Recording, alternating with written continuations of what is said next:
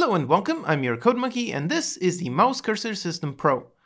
Nowadays, in order for your games to find success, you absolutely need to stand out from the crowd, and adding some custom animated cursors is an easy way to add that extra bit of polish to make your game really shine.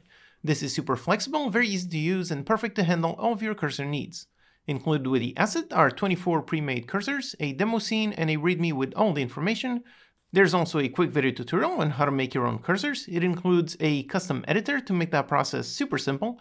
Use the included scripts to automatically set your cursors and change them when mousing over objects without having to write any code.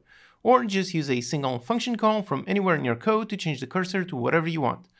And the package also comes with a detailed video walkthrough going through all the code step by step so you can learn how it all works.